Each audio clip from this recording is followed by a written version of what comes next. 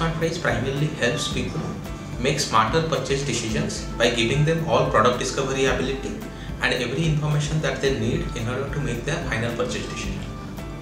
Uh, you know there are a lot of other players in this space who try to solve the same problem.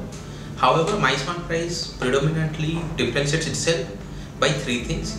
One, wider choice. So we are one of the few players who are present across almost all product categories that are sold online we also give the most accurate data, both pricing and other product related information.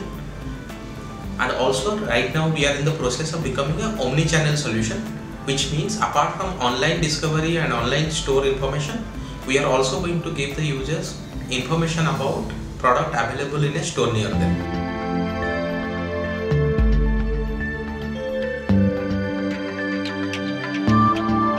So in the last four years, we have come to a point where right now on an annual basis almost goods worth 600 crore get sold on MySmartPrice platform. In the next three years, we like to grow this number by at least uh, 10x so that uh, you know almost 6,000 crore worth of goods should be sold through MySmartPrice every year, which will take it to almost equivalent to one billion dollar of goods being sold. Right, that is in terms of business in terms of the team, right now we are around 100, 150 people. We like to grow it to 250 people.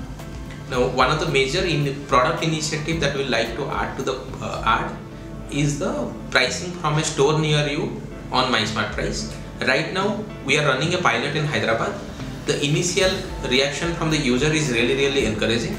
Based on that, we are going full stream ahead, adding significantly more number of cities to MySmartPrice uh, offline offering in the next uh, couple of years.